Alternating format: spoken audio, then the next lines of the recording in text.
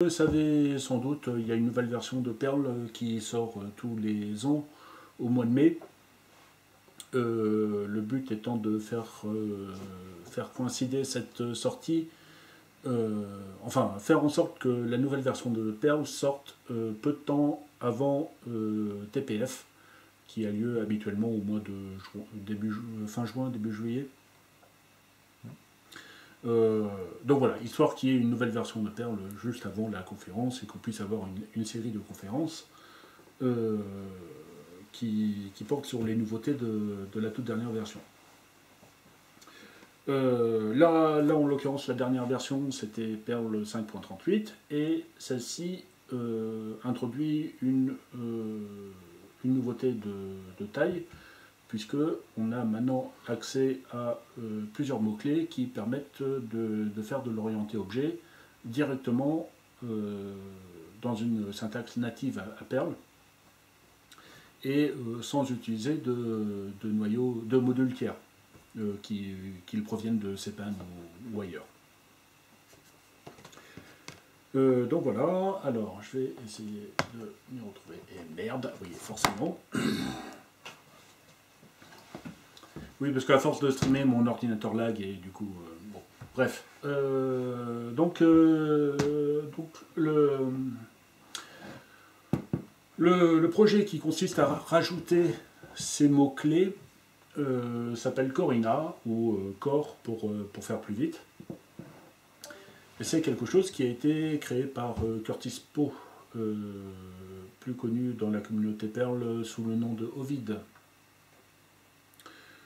Euh, que les mongers de perles parisiens ont pu accueillir à plusieurs reprises dans, les réunions Paris PM de mémoire, avant qu'ils n'aillent déménager dans le sud de la France.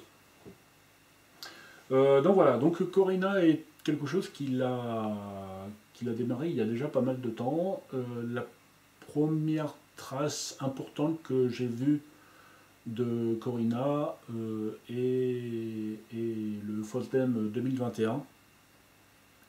Euh, donc, donc pour des raisons que vous connaissez tous, le FOSDEM 2021 était entièrement virtuel. Et, et donc euh, Ovid a fait sa, conférence euh, à distance. Et sa conférence est toujours sur YouTube, euh, sur sa chaîne perso. Et, donc, c'est là où il me semble que pour la première fois, il introduit la notion de, enfin, d'un projet qui s'appelle Corina, qui implémenterait de, de l'orienté objet directement dans le, le Perl Core. Il y a ensuite, quelques mois plus tard, une conférence, euh, une conférence pendant TPC 2021 euh, qui, était plus une table ronde qu'autre chose, où on revenait sur euh, les aspects majeurs de qu'est-ce qui fait, qu'est-ce qui définit l'orienté objet. Donc on a parlé de typage, d'héritage, de composition de rôle, etc., etc., etc. Donc ça, c'était euh, Curtis et, cinq autres personnes de mémoire. Vient ensuite euh, TPC 2022 où il présente euh, l'état d'avancement du projet en expliquant que ce sera sans doute dans la, dans la prochaine version de Perl, puisqu'on a maintenant une, une spécification pour Corina et que on est maintenant, maintenant que la spécification est, est faite, on peut commencer l'implémentation. Et, euh, le dernier point qui, a eu lieu, c'est à TPC 2023, où il parle de euh, ce qu'il y a dans la, version 5.38, mais aussi de euh, ce qu'il y aura dans les versions suivantes, puisque PSC, donc les, personnes qui statuent sur les, les fonctionnalités de, Perl au sein de P5P lui ont demandé de découper ça en, petits morceaux. Euh, la spécification euh, complète de Corina étant euh, quelque chose d'assez important et dont on ne voulait, pas valider l'ensemble d'un coup. donc voilà, donc. Donc je, vous, invite à, revoir. Est-ce que je peux. Hop.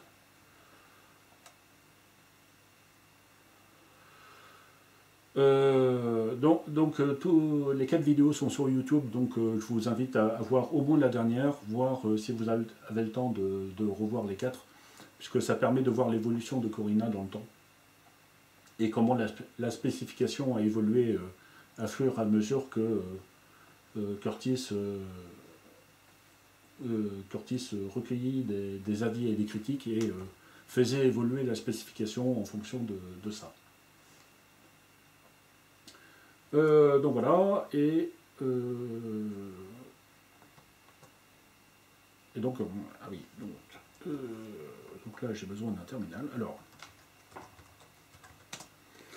on ne voit pas le terminal. Hop.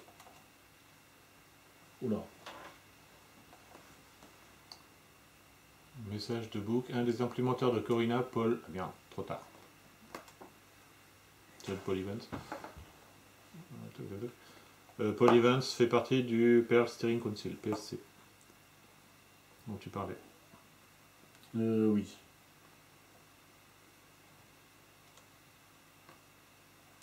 Je, je le vois.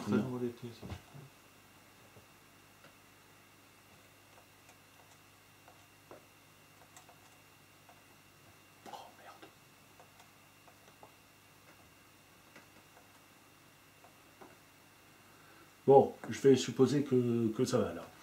Euh, quand, on a. Alors, lors de la réunion de mois de juillet de Paris PM, j'ai posé la question combien de gens euh, utilisent PER 5.38 ou euh, s'apprêtent à utiliser PER 5.38 et, et, tout le monde m'a dit on est tous sur Debian ou sur Red Hat Enterprise ou des trucs qui évoluent très lentement. Et euh, PER 5.38, on ne l'aura pas avant des années. Donc honnêtement, les, les, nouvelles, euh, les fonctionnalités qui, sont livrées dans cette version, euh, on les utilisera peut-être, mais dans deux ans, deux ans minimum. Il se trouve que moi j'utilise Fedora et une distribution Linux qui s'appelle Fedora et que Fedora est une distribution qui sort à peu près tous les six mois et euh, qui essaye d'avoir toujours la toute dernière version de tous les logiciels qui sont intégrés à l'intérieur, afin de proposer euh, ce qu'il y a de mieux dans, le logiciel libre à ses utilisateurs. Euh, là, j'utilise la Fedora 39 Beta qui devait sortir la semaine dernière et dont la, dont la sortie devrait se faire la semaine prochaine, puisqu'elle a été reportée pour cause de bugs bloquants dans l'installeur ou dans le noyau, je ne sais plus ça fait à peine un mois que je suis passé la 38. Ouais, ouais, bah. Et dans, dans deux semaines, tu, tu, auras le droit de mettre à jour vers la, vers la 39. Il va falloir que je refasse la place. Euh, donc moi j'ai installé la version bêta de la Fedora 39 et, euh, et j'ai régulièrement appliqué les, mises à jour, ce qui fait que moi j'ai Perl 538 euh, installé sur mon portable, que c'est le Perl System, que tous les modules Perl qui sont disponibles sous forme de paquet ont été compilés pour fonctionner avec, et que les, nouveautés de, la, de Perl 5.38, je peux en profiter tout de suite. Donc j'avais, hop, ce lag.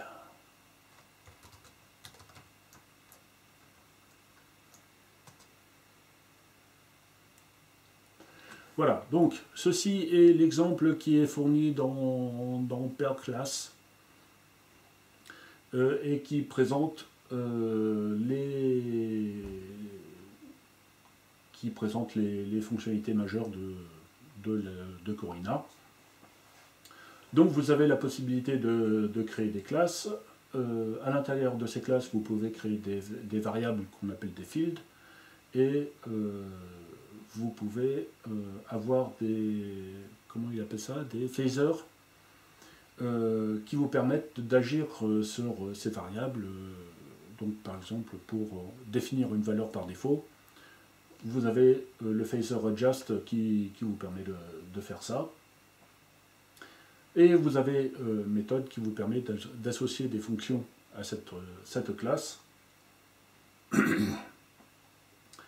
Euh, la classe implémentant toute seule la, fonction new qui est le constructeur et qui vous permet de créer, créer la classe. Et donc, bah, tout simplement, euh, euh, je peux même-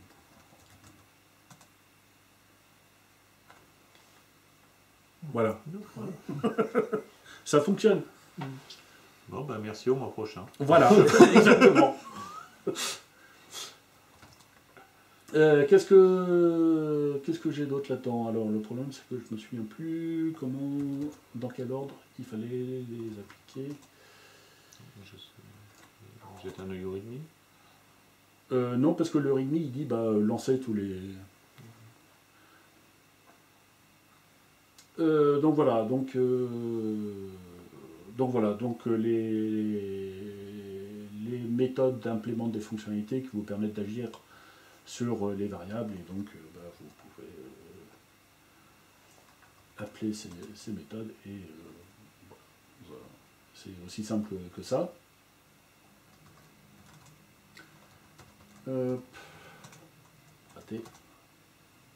Oui, ah, ça déborde un peu. Ah, je vais peut-être.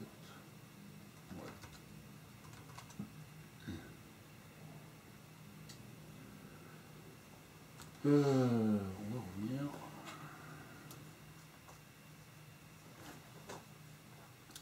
Euh, il se trouve que je, moi je travaille sur, euh, moi je travaille dans le domaine de la gestion d'identité et donc je me retrouve à, à gérer des annuaires LDAP. Des annuaires LDAP étant euh, essentiellement des serveurs, euh, des bases de données qui contiennent des, bases d'objets euh, avec tous toutes les objets dans un annuaire LDAP ont, une classe. Et ces classes définissent les attributs obligatoires qu'il faut pour créer un objet et les attributs facultatifs que, peuvent prendre cet objet. Et donc on est euh, on peut créer des, objets et les stocker nativement dans, dans un annuaire LDAP. Alors j'ai commencé à, à bidouiller avec ça et euh, donc voilà, donc ça donne ceci. Alors.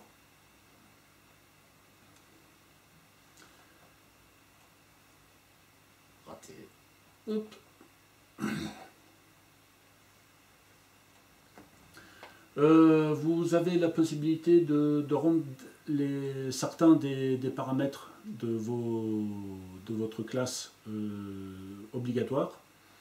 Donc, euh, deux points param, ça veut dire qu'il faut absolument que ça soit passé en paramètre de, de votre de new. Sans quoi la classe ne, ne sera, pas, créée, il y aura une exception et puis euh, bah, ça ne va pas marcher, tout simplement. Mais vous avez aussi la possibilité de, euh, de, de faire de l'héritage l'héritage simple. Donc ici, ici j'ai créé un objet qui s'appelle Organizational Perso- Person qui hérite de euh, LDAP Object Person. Donc tous les attributs qui sont obligatoires de, cette classe deviennent obligatoires dans la nouvelle classe et tous les attributs facultatifs deviennent eux aussi facultatifs. Donc voilà. Alors, si je fais ça, je peux. Ah, merde. Euh, oui. Le, le obligatoire et facultatif, c'est dièse mais ou dièse. euh, ça qui- pourtant, ça c'est le, commentaire, ça. Comment on sait que c'est obligatoire ou facultatif Deux points par âme, c'est un paramètre obligatoire de nous. Voilà. Ah, c'est le param Alors. qui dit que c'est obligatoire. Non, ça, c'est pas le param qui dit que c'est obligatoire, si. Si, si. D'accord. Hop. Euh, je vais juste mettre ça en Param, commentaire. si tu ne mets pas param, c'est que c'est facultatif. Voilà. D'accord. Et c'est pas lié au fait que c'est un paramètre que tu passes à la création d'objets. Euh, ça veut dire qu'il faut absolument que tu passes cette variable en paramètre. D'accord. Voilà. Ça. Sinon, tu as ce message d'erreur là. Ok.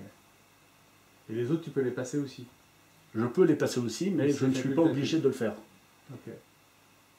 Et si tu veux des attributs que tu ne passes pas en paramètre, qui sont juste locaux, mais que tu ne mets pas en paramètres et tout ça, privé, tu peux le faire ou pas? Alors pour l'instant, il n'y a pas la notion de privé de, de public. D'accord. Ça faisait partie des spéci- spécifications de Corina euh, et, et ça a été abandonné. Enfin, ça fait partie des trucs qui, euh, qui euh, s'ils arrivent un jour, viendront plus tard. Euh, donc, donc ça, on a dit, ça marche plus. Enfin, ça ça n'a jamais marché et je peux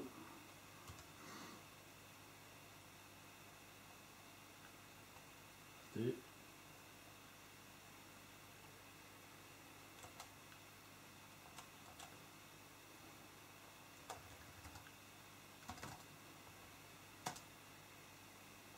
Voilà, ça, ça marche tout autant.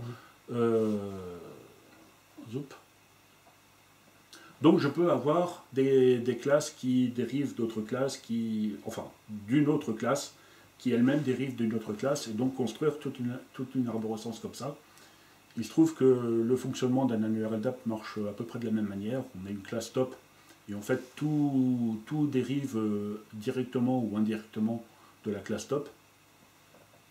Et donc on peut, euh, construire une arborescence d'objets comme, euh, dans un annuaire LDAP.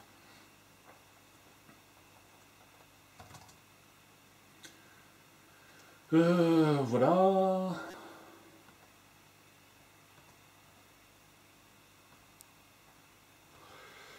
Euh, Il y a, il y a quelqu'un qui avait posé la question pendant la dernière réunion, comment on fait pour f- utiliser des types? Et la réponse des, développeurs de Corina actuellement est d'utiliser le module euh, ty- type standard, qui est fourni avec euh, type tiny de mémoire. Euh, qui lui n'est pas, pas orienté objet, mais ça n'empêche pas. euh, le fait qu'il ne soit pas orienté objet ne, ne veut pas dire que vous ne pouvez pas vous en servir à l'intérieur d'une classe Corina. Euh, et donc, saloperie. Ah bah, j'avais déjà fait la modif. Hop.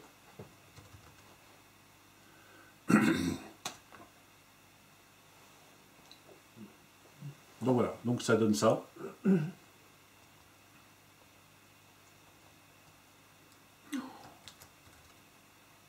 Alors, sur deux points param, euh, Book fait remarquer que deux points param est un attribut et qu'il y en a d'autres. Vu qu'on enregistre, il faut que je lise les commentaires. Il y en a d'autres euh, actuellement ou il y en a? Parce que dans la doc, c'est pas. C'est pas documenté? Non. D'accord. Dans, dans, la- dans les specs de Corina, il y avait euh, deux points reader qui permettaient de construire automatiquement le, le getter. Mhm. Euh, et quand je, je l'ai essayé, euh, Perse euh, 538 m'a dit euh, non, je suis pas d'accord. Donc euh, à partir de là, j'ai abandonné. Ou aura d'autres. Ah oui. En aura. Ah oui, non, ça d'accord. Non, qu'il y en aura d'autres, j'en doute pas une seconde. donc voilà. Et si. hop. Donc voilà, donc euh, là j'ai mis un mortier et, euh, et on se rend compte que là, euh, Perle, Mhm. Perle est très content. Et l'avantage de tout ceci, si j'arrive à retrouver. Bien, bien entendu, j'ai. Ah bah non, j'avais j'avais bien le lien vers.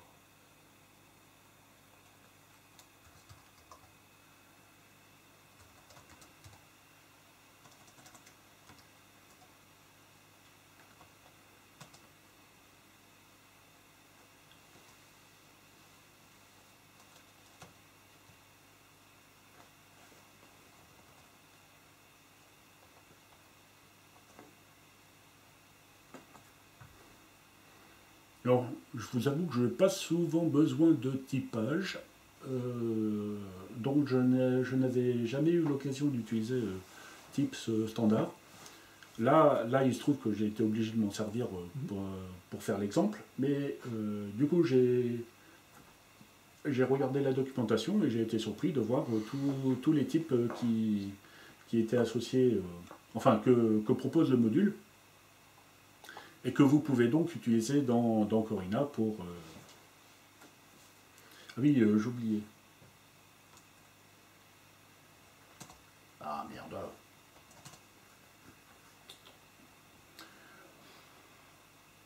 Le fait que ceci soit dans Just veut dire que euh, ceci n'est fait qu'à la création de vos, de vos variables et donc uniquement à la création de, de la classe. De la glace ou d'objet Euh, de l'objet, pardon. Donc voilà, donc ça marche, mais uniquement pour, euh, pour les trucs qui ne seront pas modifiés en, en cours de route. Ça marche, mais il faut...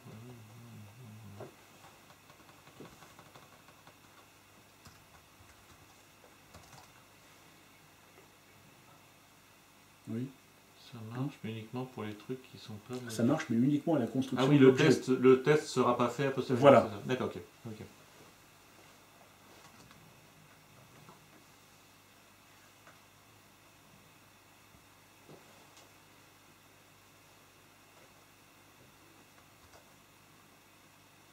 Type standard est construit avec type Tiny. Malgré Oui. le nom, ce ne sont pas des types au sens des langages de programmation visuelle, mais de la validation de données. Commentaire de book. D'accord, ouais.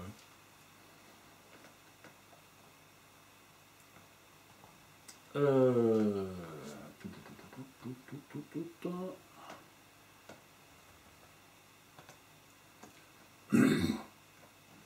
Alors, Euh, euh, quelqu'un en bas ah, Je, je l'ouvre. merci.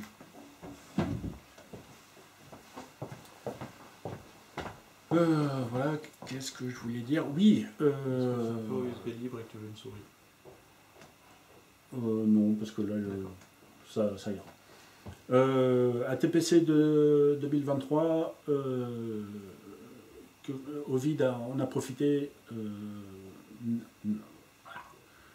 n'a pas que fait un état des lieux de, de ce qu'il y avait dans 538, mais a annoncé la, la suite. Et la suite, enfin, une partie de la suite en ce qui, ce qui concerne Corina, c'est un sous-projet qui s'appelle Augure et qui devrait apporter euh, du typage dans Perl et qui euh, permettrait de le faire d'une manière que euh, on, aurait ça dans Corina et on pourrait vraiment définir des types lorsqu'on construit la classe et qu'ensuite on ne pourrait pas violer ce typage en cours de route.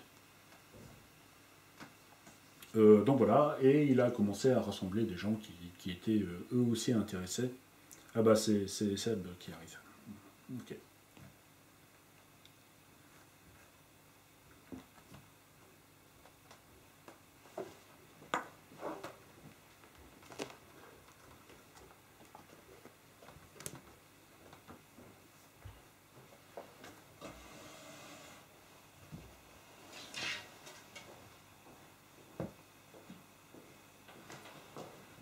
Salut Seb. Tu arrives juste à temps pour la, la dernière euh, dernier slide. J'avais ça. Euh, donc voilà, donc, euh, donc avec la, la sortie de Perl 538, il y a des gens qui ont commencé à, à tester tout de suite Corina. Euh, notamment, il y avait des gens qui, qui se demandaient si, si ça allait avoir des perfs honnêtes. Euh, alors il y a eu tout un tas de, gens qui ont testé, tout un tas de gens qui ont dit que les tests laissaient à désirer parce qu'on on testait que la construction d'objets et pas grand chose d'autre. Euh, toujours est-il qu'on a des performances euh, qui correspondent à peu près à ce qu'on faisait, ce qu'on fait avec l'ancienne méthode qui est construire des haches et ensuite faire un bless du, hash pour dire que ceci est un, type spécial et, voilà. Euh, Corina n'étant. Alors, ce qu'il y a dans Perl 538 n'est que la première phase du projet Corina. Donc ho- honnêtement, faire des perfs de, ce qu'on a actuellement, ça ne sert pas à grand chose à mon avis. Euh, donc voilà, et il y a quelqu'un qui m'a posé la question de l'ORM à la dernière réunion Paris PM. Il me semble que c'est toi, Richard. C'était pas moi, mais je me souviens. Euh, Peut-être Laurent, Laurent Rosenfeld. Peut-être. Euh, et donc voilà. euh, alors, euh, Non, Sylvain. pour Non, c'était Sylvain. C'est Sylvain, d'accord. Bon moi.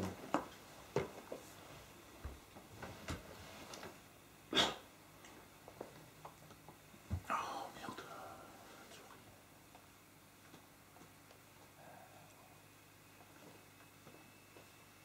Est-ce que ça bouge dans le petit écran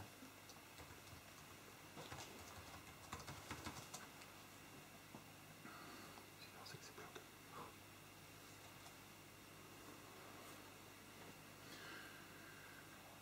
Donc il y a tout un tas d'ORM euh, euh, sur comme, euh, comme pour n'importe quel type de, techno d'ailleurs.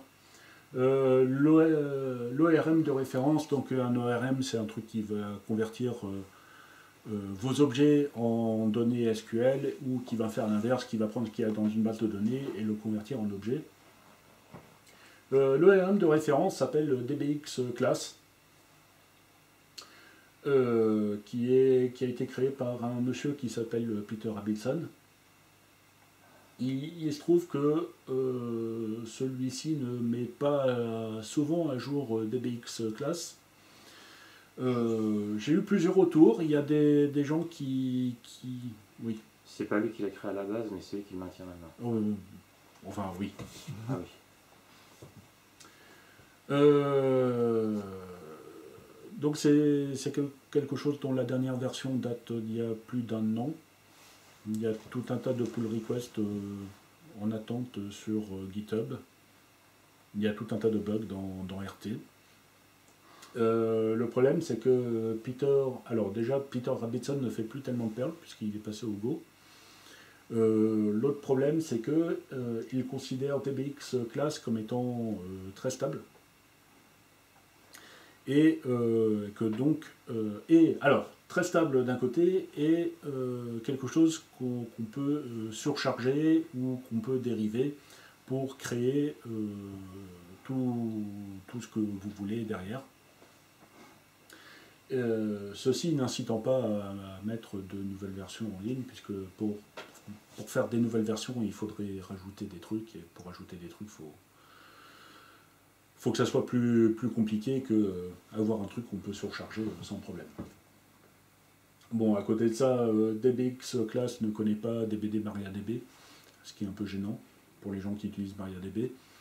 Euh, il me semble qu'il fait référence à un domaine euh, dbx-class.org.com qui, dont le, qui a expiré et qui a été repris par euh, quelqu'un qui, qui ne propose pas, pas grand-chose. Comment t'as fait pour ne pas savoir que c'était ce soir? Bon, tant pis. Euh, donc voilà, donc euh, à mon avis, s'il y a un truc à faire, c'est à l'intérieur de DBX Class. Euh, moi, j'attendrai que Corina soit complètement implémentée parce que honnêtement, sinon, ça vaut pas la peine. Enfin, ou alors il, il y, a, il y a du taf en plus. Mais si, si on peut euh, derrière utiliser DBX Class pour convertir les classes directement en données SQL, les injecter dans euh, PostgreSQL, euh, MySQL, tout ce que vous voulez. Ping. Euh, ou à l'inverse, prendre des données dans votre base de données et les, les convertir en objets directement, euh, ben, ce serait absolument génial. Voilà. Donc je sais pas s'il y a quelqu'un d'autre d'autres questions. Philippe a failli écrire quelque chose. Ah.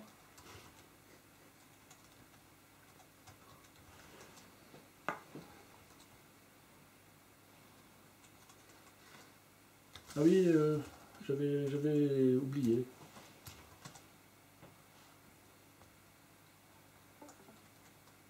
Ce qu'à faire remarquer peut-être, Vas-y. C'est du combat de taille, classe, ville, tout ça. Alors que des objets comme, enfin des, des, des frameworks comme Moose, les mots-clés euh, have, Sont runtime. Oui, absolument. Et donc ça pète moins les perfs. Enfin, euh, avec. Euh,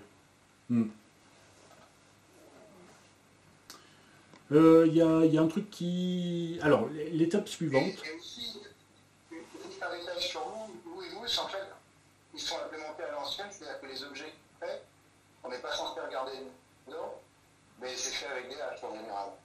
Euh, Oui.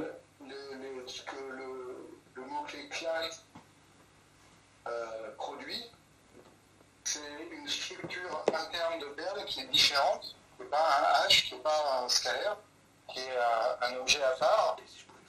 Et donc les, les, les champs sont vraiment, enfin c'est vraiment une nouvelle structure de données à l'intérieur de Perl.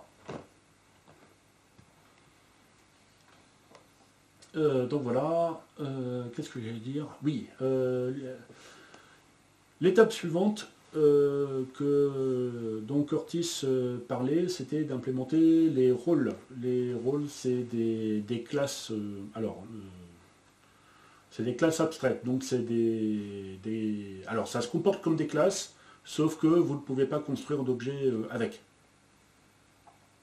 Mais ça permet euh, d'avoir euh, des, classes que vous pouvez dériver. Donc, moi, il y a un truc qui me trotte dans la tête depuis très longtemps qui est d'avoir une CMDB. Pouf pouf. Donc, je peux.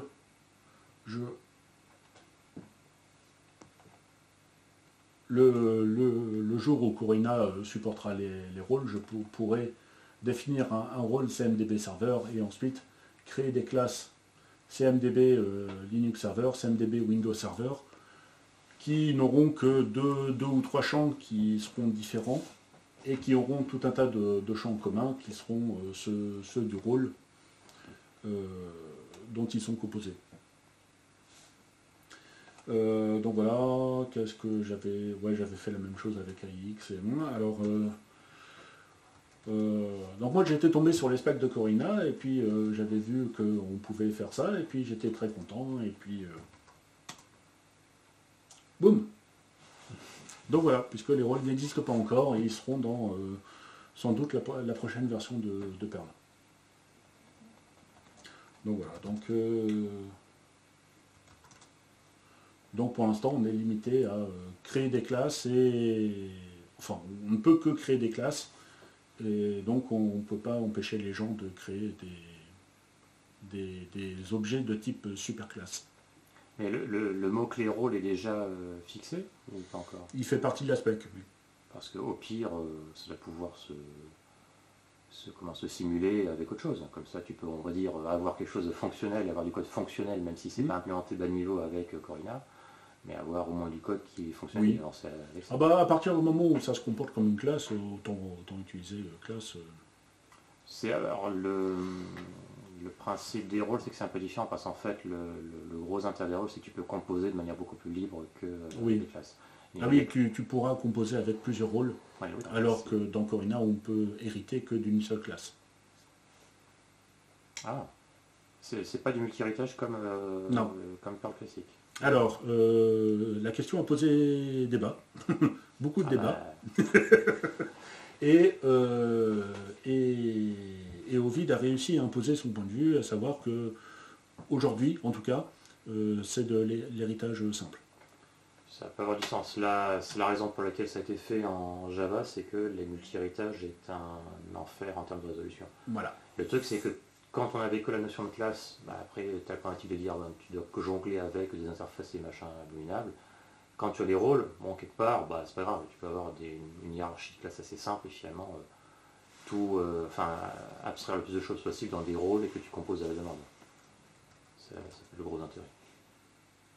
C'est c'est moins choquant de, de- de dire on a une hiérarchie simple si tu as des rôles que si on disait oui mais on n'a pas de rôle.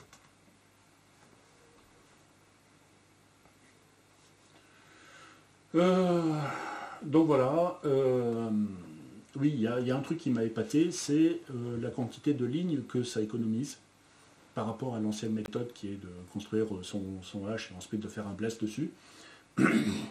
Moi, j'ai contribué pendant pas mal de temps à euh, Bugzilla. Euh, Bugzilla euh, implémente tout sous forme d'objet. Donc, euh, vous avez. euh, Est-ce que, est que j'ai le code? Euh, Je pense pas. Non. Euh.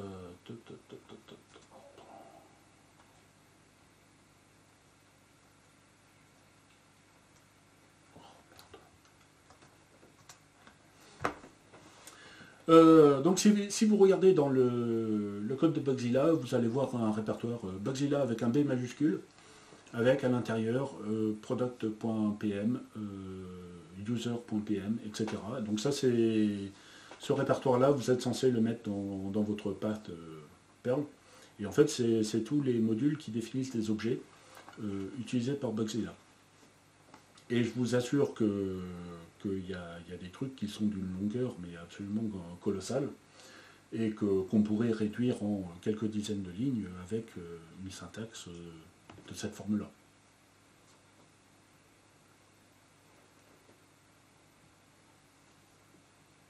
Donc voilà. Donc euh, je trouve ça plutôt intéressant. Rien, rien que le fait de pouvoir réduire la quantité de code qu'il faut écrire, surtout si c'est du boilerplate euh, que, que vous copiez-collez un peu partout euh, à chaque fois que vous avez besoin d'une classe, je trouve que c'est toujours très intéressant à prendre. Voilà. Est-ce que vous avez des questions? Est-ce qu'il y a. je, en fait, je prolonge sur ma question tout à l'heure. Est-ce qu'il y a quelque chose de, euh, qui permet de, euh, on va dire, de faire une transition, en gros, de porter, d'avoir du code qui marchera en partie sur les anciens Perl, même sans bénéficier de tout ce qui, euh, de tout ce qui est implanté au fur et à mesure, mais de faire en sorte d'assouplir la transition, le passage de- des versions actuelles aux versions suivantes? Alors, il y a, il y a un module.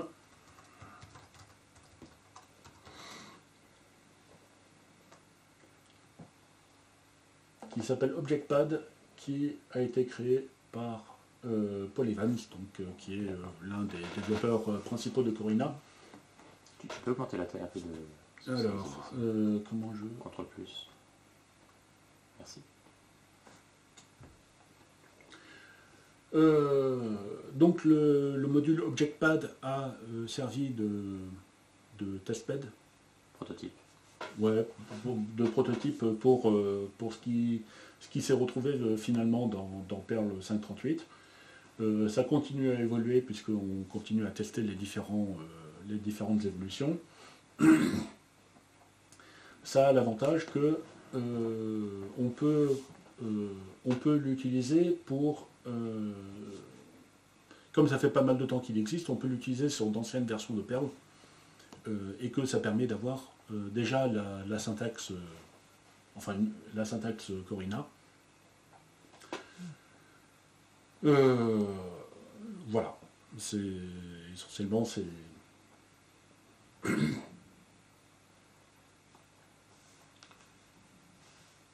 Est-ce que. vas-y. Pour revenir sur les rôles, est-ce que on pourrait mettre du code dans adjust pour, pour forcer une classe à être une classe abstraite Qui empêcherait l'implémentation Ah, euh, de- simuler des rôles avant de. Ouais, simuler les rôles avec des classes, euh, des classes abstraites. Bon, alors on n'a plus la- le multi-rôle, mais Oui. euh, je suppose que ça fait un intérêt. Je pose la question. Je suis, je suis convaincu que ça doit être possible. Je ne suis pas convaincu que ça soit très pertinent. D'accord. Ça se réimplémente, hein. c'est pas non plus monstrueusement compliqué d'implanter. Ouais. Enfin, si- surtout tu prends un des trucs du genre Roltini, en fait, tu peux potentiellement euh, ré- réimplémenter, en gros, faire euh, la connexion entre des trucs du genre Roltini ou un truc euh, juste au-dessus pour avoir une implantation suffisamment complète. Simplement fournir l'interface qui correspond à ce que ici on attend avec la le sucre syntaxique qui va bien, et puis en gros tu, tu as ton truc entre guillemets en pure Perl où euh, tu utilises les, les mots-clés euh, disponibles depuis euh, 5, euh, je sais plus, je crois 14 ou ou 16. Mais en fait, c'est ce que je veux dire, c'est moi ce, ce qui est pratique, c'est que si on dit ouais voilà on a ça qui arrive à partir de genre euh, Perl 5, 30 quelque chose, c'est cool. C'est-à-dire que tant que tu es sur des versions euh, antérieures, et bah, si tu as des trucs en prod, bah voilà, tu peux pas euh, mettre à jour euh, facilement ton Perl. Ça peut être Mhm. intéressant si par exemple tu as un Perl 5.20, 5.24 en prod, si tu as un module qui permet en gros de porter la nouvelle syntaxe et d'avoir les fonctionnalités, on va dire 90% des fonctionnalités Mhm. euh, Mhm. sur un Perl 5.24, et c'est super, hein, parce que c'est-à-dire qu'en gros, tu as du code qui est déjà prêt, et euh, il est déjà fonctionnel, tu peux déjà en Ah ouais. gros le, le tester, vérifier que tout va bien, euh, et quand après tu pourras mettre à jour tes serveurs avec une nouvelle version de Perl, tu n'auras plus qu'à changer le en-tête pour qu'au lieu d'utiliser Object, Pad, tu utilises les trucs directs, terminé. C'est Ouais. voir pour peu qu'Object Pad ne fasse pas directement le boulot lui-même, et tu vois, c'est Mm. ça fait l'intérêt de la chose.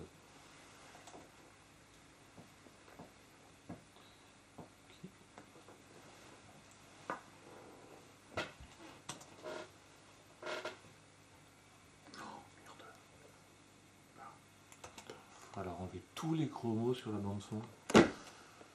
Oui, oui, ça va être rigolo. Donc voilà, alors, euh, bon, mon, mon Discord n'a pas survécu euh, à la charge et à exploser. Ah oui, c'est vrai, tu. Attends, je... Oula, en a beaucoup, faut que je filtre, faut que je filme l'écran. Non, il est illisible, c'est pas la peine. Ça passe Ça pas. me semble aussi. De toute façon, même l'écran, enfin moi en tout cas, je voyais pas l'écran de... l'écran comme ça. hein. Euh, non, Euh, parce que c'est c'est deux écrans différents. Ah. Bon. Euh, voilà, bon, là, ça, ça doit passer. Euh, euh, donc voilà, est-ce qu'il a- est-ce que quelqu'un dans le stream a une question Est-ce que- est-ce qu'il y a des trucs que vous voulez, voulez tester euh?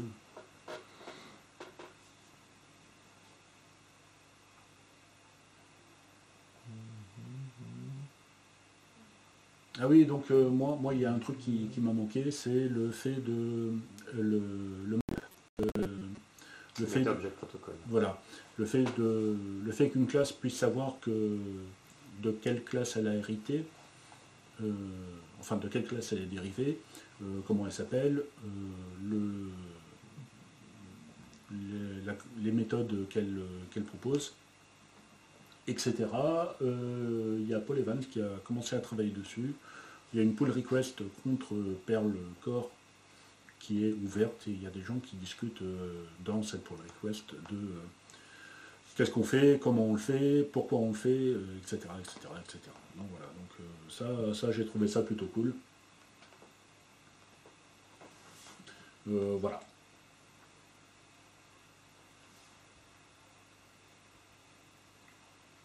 Bien.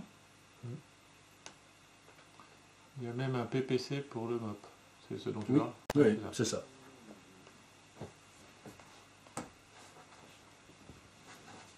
Ok.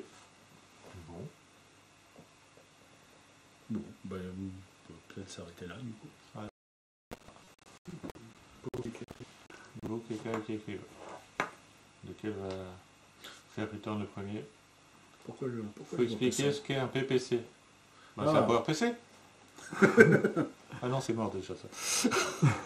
Donc un PPC, c'est euh, la première étape de, de- la première étape qu'on fait lorsqu'on veut, euh, ce qui n'est pas vrai d'ailleurs, euh, lorsqu'on veut proposer une fonctionnalité dans, dans Perl Core, on commence par euh, en discuter sur euh, P5P. Euh, une fois que on ne s'est pas fait lapider sur euh, P5P, euh, on peut alors passer au fait de créer un, pull- request, je crois, sur GitHub. On appelle ça PPC. Perl propose change. Voilà. Et, euh, et à ce moment-là, les gens commencent à discuter sérieusement. J'ai d'ailleurs pas spécialement l'impression. P5P, c'est pas sérieux C'est ce que tu es en train de dire Bah honnêtement, je, me pose la question. Alors, il y a, il y a quelque temps, il y a, je ne sais plus qui, euh, il, y a eu, il y a eu une proposition il y a quelque temps de, euh, de euh, donner accès au, au, type, au type interne de Perl. Donc euh, int, euh, str, euh, etc. Nous, On a déjà accès. F- ouais, alors, alors faire en sorte qu'on puisse l'utiliser dans son. Ouais, enfin, oui, mais faire en sorte que ça soit plus facile à utiliser. Et, et les gens ont commencé, alors les gens ont commencé à se jeter des, des œufs pourris à la tête parce que il y avait, dans, dans l'histoire, il y avait Will Brass- Braswell. Euh, qui s'est fâché avec un peu tout P5P. Et euh, voilà. Et euh, et il y a, y a plein de gens qui trouvaient que la, la proposition manquait de maturité, on va dire ça comme ça, et, et que qu'on le faisait pour de mauvaises, mauvaises raisons- raisons. Donc on, on voulait utiliser le typage interne de Perl parce que on, était convaincu que ça irait plus vite que de, créer des types euh, des types euh, tout faits. Et, euh, et cette proposition, les gens se sont criés dessus, les gens se sont tapés dessus, ils se sont balancés des, œufs à la tête, et, et finalement, la discussion s'est arrêtée une fois que tout le monde a arrêté de se crier dessus, mais personne de, de PSC n'est intervenu. Euh, C'est comme de la pas- On n'a pas compris. répète Je dis que parce que la proposition, euh, si tu parles de Pearl Times, Oui, euh, en fait c'est quelque chose qui est intimement lié à AirPerl, qui est le projet de, Oui. de. Euh, c'est un ciment centre de perles euh, optimisé pour. Il est obsédé par la vitesse. Et euh, ce que Perl te donne, c'est pas de la vitesse, c'est de la, c'est de la, Souplesse. de la flexibilité, c'est de la, de la facilité de développement, etc. Et le problème, c'est que la présentation de Perl Types, implicitement, s'appuyait sur AirPerl, et, euh, et le groupe de la discussion, enfin, euh, il y a eu effectivement quelques nuits d'oiseaux, et l'auteur original de la proposition a un peu perdu son, son calme, mais euh, la façon dont, euh, dont, on l'a vu dans le PSC, euh, c'était plutôt un moyen de dire, de s'acheter un, un cachet officiel disant voilà, euh, Perl va maintenant mettre à disposition les choses que nous on propose dans, dans AirPerl, mais en fait le, le code qui était, tous les exemples de code qu'il donnait ne marchaient qu'avec AirPerl, qui n'est pas Perl, mais euh, quelque chose de différent. Et donc oui, euh, le PSC a un peu ignoré ça en laissant les gens mettre, parce que c'est pas du tout la direction dans laquelle on veut emmener Perl en fait. Hmm. Et le- le- après, un autre problème, c'est que le mot type lui-même est vachement chargé. oui, Parce oui. que euh, c'est un mot qu'on préfère. Même, même Ovid, quand il fait euh, son- ses propositions sur les types, ils n'ont pas utilisé le, le mot type, parce qu'en fait, ce que ça fait, c'est plutôt de la, validation au runtime, plutôt que de la, vérification à la compilation. Donc c'est le, mot type est, est chargé et, euh, très mal employé, même type tiny, en fait, c'est pas À, à tel point que pour sa proposition euh, augure, euh, Ovid préfère parler de data check, donc euh, vérification de données, plutôt que de typage.